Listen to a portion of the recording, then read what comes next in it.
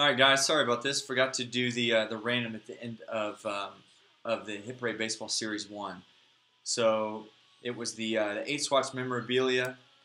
So you've got uh, on the front side, you've got four Marlins players, and then on the back side, you've got even though they're all in Marlins gear, you've got Yankees, Red Sox, Red Sox, and the Nationals. And so you got the uh, the little authentic- authentic authentication certificate that's got those teams listed here.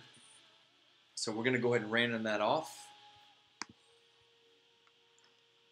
So go ahead and pull you over here. I've got all teams listed the way that they were listed on the card. So on the one side, you've got the four Marlins players. Then you've got Yankees, Red Sox, Red Sox, and Nationals. So we will go ahead and random this off five times. Team at the top at the end of five times is going to pull it. So good luck. First up, we got the Marlins. Second, the Red Sox. Third, the Red Sox. Fourth, the Marlins. And the fifth, going to the Marlins.